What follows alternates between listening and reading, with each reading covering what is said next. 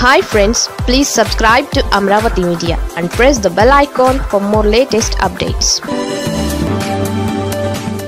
Modi master plan. వక్ఫ్ bill వివాదానికి జమిలీతో check.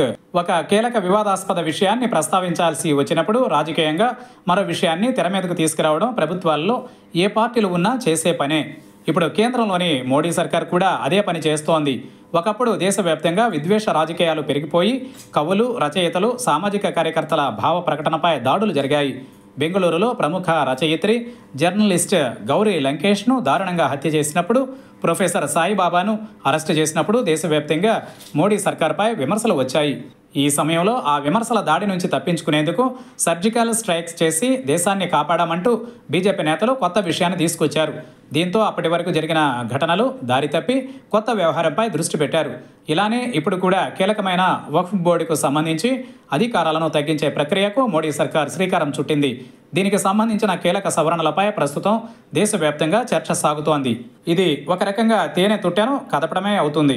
ఈ విషయం బీజేపీకి కూడా తెలుసు. పైగా మిత్రపక్షాలలో కొన్ని దీనికి ఆమోదం కూడా తెలపడం లేదు.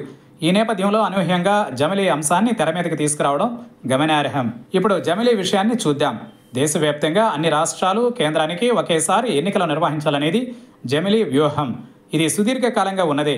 ఇప్పుడు కొత్తగా వచ్చిందేమీ కాదు. అయితే పేరు మారింది. అప్పట్లో జమిలీ అన్నారు ఇప్పుడు మోడీ సర్కార్ వన్ నేషన్ వన్ ఎలక్షన్ అనే పేరు పెట్టింది. మొత్తంగా ఒకటే వ్యూహం. రాష్ట్రాలకు కేంద్ర ప్రభుత్వానికి కూడా ఒకేసారి ఎన్నికలు నిర్వహించడం. అయితే దీనికి కూడా మిత్రపక్షాలు అంగీకరించే అవకాశం లేదు. పైగా దీనికి అనేక చిక్కులు కూడా ఉన్నాయి. జమిలీ నిర్వహణపై ఇప్పటికే మాజీ రాష్ట్రపతి రామ్నాథ్ కోవింద్తో కమిటీ వేశారు. ఈ కమిటీ ఇంకా నివేదిక ఇవ్వలేదు. ఒకవేళ ఇచ్చినా ఎలాంటి తీర్మానాలు ప్రతిపాదిస్తుందనేది చూడాలి. ఇక కాంగ్రెస్ చెబుతున్నట్టుగా జమిలీ నిర్వహణకు రాజ్యాంగపరమైన మార్పులు చేయాల్సి ఉంది. కనీసం ఐదు సవరణలైనా చేయాలన్నది కాంగ్రెస్ దిగ్గజ నాయకుడు పి. చిదంబరం చెబుతున్న మాట. కానీ ఇన్ని సవరణలు చేసి ఉభయ సభల్లోనూ ప్రభుత్వం సక్సెస్ కావడం ఇప్పుడున్న పరిస్థితిలోనూ సాధ్యం కాదు. దీనికి కారణంగా బలమైన సంఖ్యాబలం మోడీకి లేదు. ఉభయ సభల్లోనూ ఆధారపడాల్సిన పరిస్థితి నెలకొంది. దీంతో జమిలి వెనుక వ్యూహం వక్ఫ్ చట్ట సవరణైనని తెలుస్తోందన్నది జాతీయ విశ్లేషకుల మాట.